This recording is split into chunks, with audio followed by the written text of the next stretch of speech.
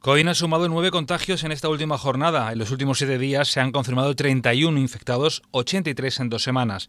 El número de fallecidos se eleva a 31 y la tasa de incidencia se queda igual que ayer, en 355,1. En cuanto al distrito sanitario del Valle del Guadalhorce, se suman 116 casos en estas últimas 24 horas. Los detectados en la última semana son 273, 678 si tomamos en cuenta la quincena.